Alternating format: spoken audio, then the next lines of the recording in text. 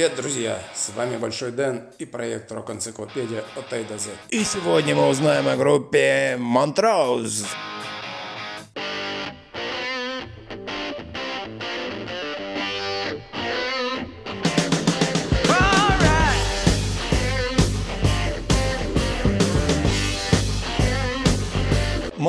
по существу являлись первой тяжелой американской командой, выступившей противовесом нашествию британских хардроковых коллективов.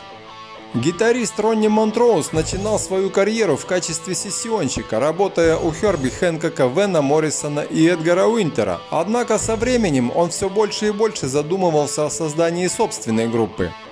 Мечты Ронни воплотились в жизнь в 1973 году, когда он вместе с талантливым вокалистом Сэмми Хейгером организовал проект имени себя самого. Оригинальный состав группы дополнили бас-гитарист Билл Чорч и барабанщик Дэнни Кармасси. В ноябре 1973 фирма Warner Bros. выпустила дебютный лонгплей, ставший первенцем американского металла и самой лучшей работой в дискографии Montrose. Спродюсированный Тедом Темплманом альбом хоть и не вошел в лучшую сотню билборд, но впоследствии все же пересек платиновый рубеж.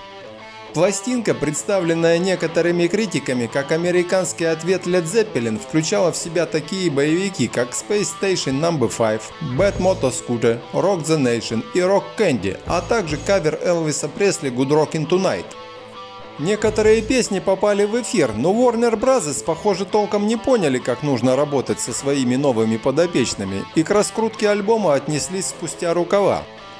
Первым почувствовал неладное Билл Чорч, вскоре после выхода диска, уступивший место Алану Фитджералду.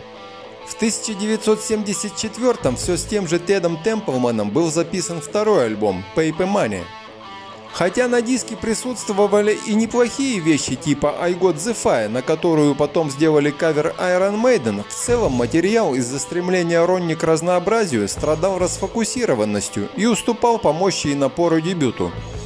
Как бы то ни было, несмотря на смешанные отклики, продажи шли побойчее, чем в прошлый раз, да и в чартах Монтроуз переместились на 65-ю строчку. Тем временем между Монтроузом и Хейгером началось выяснение взаимоотношений, и их дрязги в конечном итоге привели к уходу вокалиста. Впрочем, Сэмми вовсе не пострадал от этого, поскольку впереди его ждала как успешная сольная карьера, так и слава в рядах Ван Хелен. Вакансию фронтмена в Монтроуз занял Боб Джеймс, а параллельно в составе появился клавишник Джим Алсивар. Записанный в такой конфигурации и спродюсированный самим Монтроузом альбом с громким названием Warner Bros. Presents Montrose не соответствовал ранним стандартам группы и опять грешил стилевой пестротой.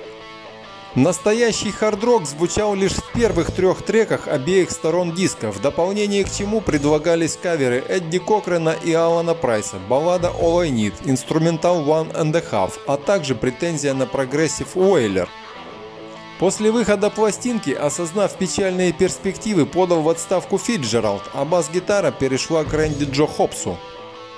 В 1976-м Монтроуз пригласили на роль продюсера Джека Дагласа и предприняли последнюю попытку вернуть расположение публики. Увы, их ожидания не оправдали себя, и вскоре после выхода снова относительно мягкого Jump On It проект был закрыт. Музыканты разбрелись кто куда, а Ронни начал сольную карьеру, а также собрал другую команду – Гамма.